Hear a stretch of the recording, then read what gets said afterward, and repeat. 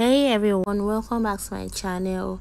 In today's story i'll be teaching you how to make a wedding dress train like the one you just saw.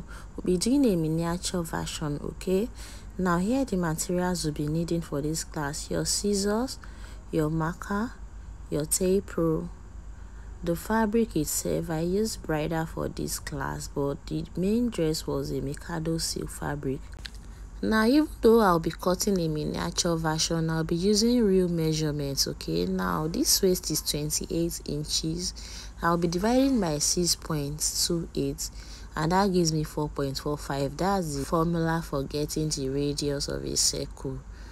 Now we will be cutting four circles to have a very full skirt guys. So we'll divide the 4.45 by 4 and that gives 1.11 which is approximately 1 so that means each of the circles will have a radius of 1 inch. This should be increased in reality because you'll be pleating the waist of the dress to have a fuller look. And for this miniature version i'm actually going to use a half inch. So watch me as i go ahead with my calculations okay? Now the waist length of this is 16 inches. Waist length is 16 inches the full length is 60 inches. I'm going to teach you how to get your train measurements now. Since your full length is 60 inches you subtract it from the 16 inches of the waist length and that gives you 44 inches okay? So that's the normal length of the skirt 44 inches. But then to get your train it's obviously going to be longer than the regular length of the skirt. So instead of 44 inches we'll be adding additional inches to it you can use 10 inches extra. You can use 20 inches extra. You can use 30 inches extra. You can use as much as you want guys. It depends on how you want your dress to come out. Okay? It depends on what you want exactly. And so on and so forth. Okay so i'm going to go ahead now to fold my fabric into four first you fold your fabric into two just the way i am doing it. Fold your fabric into two and then you go right ahead and fold it into two again. Once you're done folding you go back to your measurement. Remember that the radius for the measurement we used is one inch. But for this tutorial i'll be using half inch. Since i'm working with a miniature. Don't forget that okay so you mark your half inch all around or one inch as the case may be or whatever measurement you are using guys. And then the length i'll be using here is eight inches. To measure the eight inches you put your tape rule at the starting point as you can see and then you begin to mark the 8 inches until you've gotten to the other end of the fabric okay once you're done doing that you can connect the lines so that it will be easier for you to cut it out. So i'm going to go right ahead and pick up my scissors. Then i'll cut off the first part which is the half inch. And then i'll cut off the eight inches part too. And yeah that's the flare i believe this is pretty easy right? So i cut two other flare you know we are going to use four so these are the two other ones making three now. We are left with the fourth one. The fourth one is going to be majorly for the back and this is where your train is going to be. Your fabric should be on a fold of two for this part. Kindly pay attention to what i'm doing at this point because it can be quite tricky. So i picked up one of the flare that we cut earlier and then i placed it on the fabric that we folded into two. Can you see how i placed it right now i'm going to go ahead and cut open just one side of the flare that i placed on the train okay?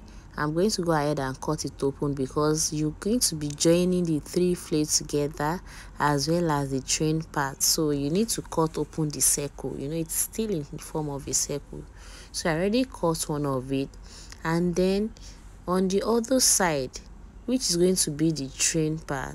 I'm going to leave my zipper allowance. You can decide to leave one inch or two inches. It depends on what you want. Can you see how i'm folding it? The other side that i didn't cut is going to be the part that will have the zipper allowance. Right now i'm going to go ahead to mark the 8 inches extra for the train now to the main part getting the shape of the train. All you need to do is just to mark the shape of the flare the ones you cut already. You keep pushing it towards the length of the train that you marked. Your marking should follow a straight line just the way i am doing it. Make sure it's a straight line until you get to the end of the train. Can you see?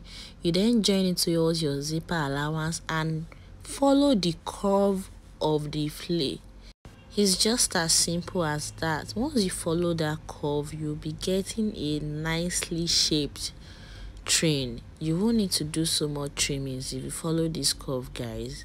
It's as simple as that. Now we'll go ahead to cut out the radius part of the train. Remember that the radius that we used for this particular miniature one is a half inch and then I'll mark it out the half inch. I'll mark it out towards the zipper allowance. Just mark a straight line towards the uh, zipper allowance after marking out your half inch. And then you pick up your scissors and cut it out okay? Once you're done cutting you go right ahead and open up the zipper allowance of the train.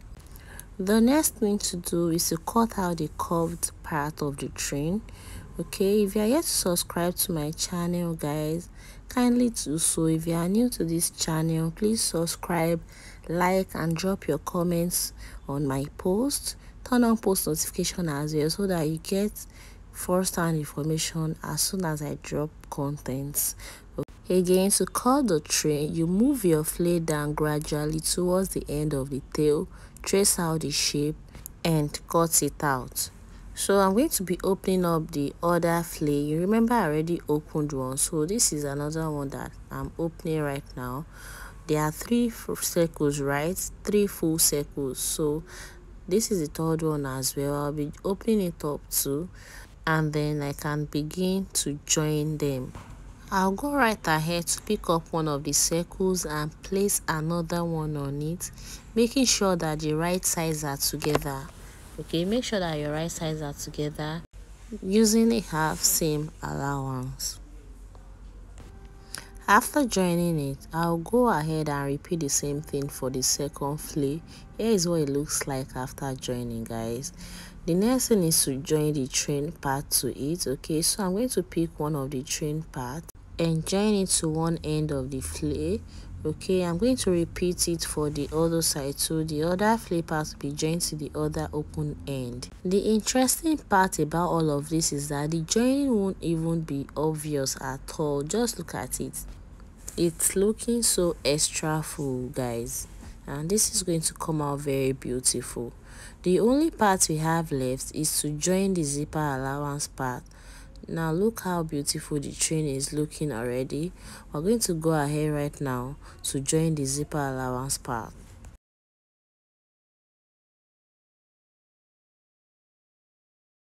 so here is what it looks like after joining. You have a very full circle. And then of course i'm going to go ahead now and miniature pick up my doll which is what i'm going to use to show you how you can achieve a very beautiful skirt okay so i'm going to wear it on it. In your own case you would obviously be using a mannequin or your bride. So you're going to go right ahead and begin to pin because you're going to have excess once you cut using this method. Okay so you begin to pin all around. You can either make it inverted pleats or you can do knife pleats it all depends on the look you want to achieve guys it's really coming out beautiful. Just look at the 360 degree look. It's so gorgeous. Thank you so much for watching this tutorial to the very end. I appreciate it. Kindly give this video a thumbs up. Bye